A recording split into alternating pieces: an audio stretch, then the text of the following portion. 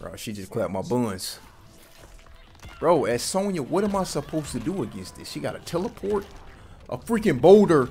Like, dude, we playing Crash Bandicoot, man. A boulder, ground pound, flames. Dude, what am I supposed to do with this, dude? This Crash Bandicoot, whoever made her, it's got to be the biggest Crash Bandicoot fan. Like, bro, what were y'all thinking at NetherRealm when y'all made this character, bro?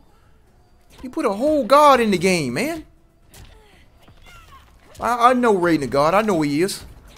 But these are the guys that rating. Uh, uh yes, ma'am. No, ma'am. Yes, sir. No, sir. Okay, we might have a comeback here. If I make this comeback, is a clip. Oh, I went for it. Oh. Bro, you can't tell. And a, and a finishing move. Bro, you can't tell me if Ed Boon played this game. Bro, if, if his opponent picks Cetrion, he ain't even want to play. What the? Like, bro, that right there let you know she OP. What is that? The chick got bigger than the whole earth. What am I supposed to do with Sonya? I can't even get close to apply pressure, dude.